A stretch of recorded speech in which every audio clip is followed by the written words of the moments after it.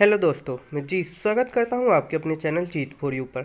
आज की इस वीडियो में देखेंगे वर्षीक पंद्रह, विषय अपना गणित है, कक्षा अपनी आठवीं है, ठीक है ना? तो इसमें वर्कशीट पंद्रह का सॉल्यूशन देखेंगे जो कि है समान घातांकों वाली घातों का गुणन एवं विभाजन। तो अपन इसको समझेंगे गुणन एवं विभाजन कैसे होता है, जो एक के ऊपर एक घात चढ़ी होती है, ठीक है? तो वीडियो में आगे बढ़ने से पहले वीडियो को लाइक एंड चैनल को सब्सक्राइब कर दीजिए, ताकि आने वाली वीडियो का नोटिफिकेशन आपको मिल सके। तो देखिए यहाँ पर देखो और समझो, एक घात की घात लेना। उदाहरण के लिए जैसे दो पे घात तीन और उस पे घात दो तो एक घातें आपस में जुड़ जाएँगी, ठीक है ना? जैसे दो, यहाँ पर देखिए इक्वल टू में लिख लिया अपन ने, दो की घात तीन प्लस इंटू दो की घात तीन तो तीन और तीन छः हो जाएँगे अपना। इसके बाद देखिए ए दिया गया है अपन को, इसको क्या करना है? तीन इंटू छः तो ये छः हो गए, यानी कि दो की घात छः हो गई अपनी, ठीक है? इसके बाद देखिए ए पे घात एम एम पे घात एन तो एम ऐसा होगा अपना, जैसे ए पे घात एम है तो एम इंटू एन हो जाएगा, ठीक है? तो अपना आंसर आ जाएगा ए पे घात एम एन ठीक है? ये अपना आंसर हो गया। इसके बाद देखिए, अपन प्रयास कीजिएगा पहला देखेंगे, जैसे दो पे घात, तीन पे घात दो एन चार तो अपन क्या करेंगे? तीन पे घात दो इंटू चार कर देंगे तो तीन पे घात आठ का आंसर आ जाएगा अपना, ठीक है? ऐसे ही अगला करेंगे। तो देखिए, दो छः पे घात दो एन दस तो छः पे घात दो दूनी दस, यानी कि छः पे घात बीस आ जाएगी अपनी, ठीक है? अगला करेंगे, चार पे घात दो एन तीन तो चार पे घात दो और तीन का इंटू करेंगे तो चार पे घात छः अपना आंसर आ जाएगा, ठीक है? आगे देखेंगे अपन। अगला क्वेश्चन है अपना दस पे घात दो एन चार। तो यहाँ पे दस पे घात दो और चार का लिख कर इंटू कर देंगे तो दस पे घात आठ आंसर आ जाएगा अपना। यहाँ पर देखिए नौ पे घात पाँच और छः। तो पाँच और छः का अपन इंटू कर देंगे तो नौ पे घात तीस आ जाएगी। ठीक है ना? फिर यहाँ पर देखिए ग्यारह पे घात दो एन चार। तो ग्यारह पे घात दो और चार का गुणा करेंगे तो ग्यारह पे घात आठ आंसर आ जाएगा। ठीक है? आगे देखेंगे अपन। समान घातों वाली घातों का गुणन। अभी यहाँ पर ने विषम देखा था, अभी यहाँ पर समान घातों वाली घातों का गुणन देखेंगे।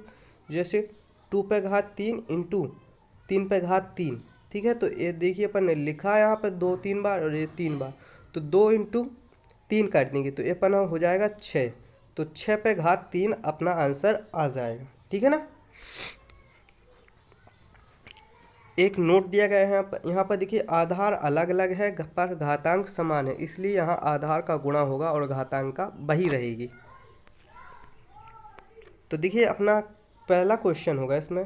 पाँच पे घात तीन, एन छः पे घात तीन तो ये तहत पाँच और छः का गुणा होगा। तो छः पंचे तीस तीस पे घात तीन अपना आंसर आ जाएगा। ठीक है? जैसे कि ये लिखा है, ए इंटू बी। तो यहाँ पर ए और बी का इंटू होगा तो ए और बी पे घात चार, अपना आंसर आ जाएगा।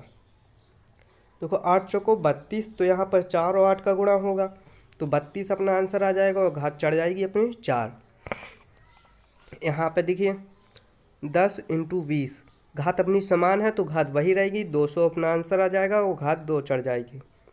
यहाँ पर देखिए ग्यारह इंटू छः ग्यारह छिके छियासठ एंड तीन घात है तो तीन घात चढ़ा देंगे अपन। ठीक है? ऐसे ही अगला क्वेश्चन है अपना। नौ आठ इंटू नौ। नौ आठ बहत्तर। दो बहत्तर लिखेंगे अपनी घात समान है। चार तो चार अपन घात चढ़ा देंगे। ठीक है? तो ये अपन ने सॉल्व कर लिए। इसके बाद आगे देखेंगे अपन। अपना अगला है, समान घातों वाली घातों का विभाजन। अभी अपने गुणा देख लिया, जोड़ भी देख लिया विभाजन देखेंगे। ठीक है? तो अपना इसका पहला क्वेश्चन है। देखिए थ्री बाई फाइव की घात लिखी घातें समान हैं। हैं? आधार अलग, आधार और अंश और हर अलग अलग हैं। तो अपन क्या करेंगे? तीन अपॉन पाँच लिखेंगे और घात को चढ़ा देंगे। तीन, ठीक है? तो ऐसे ही आगे करते चलेंगे अपन।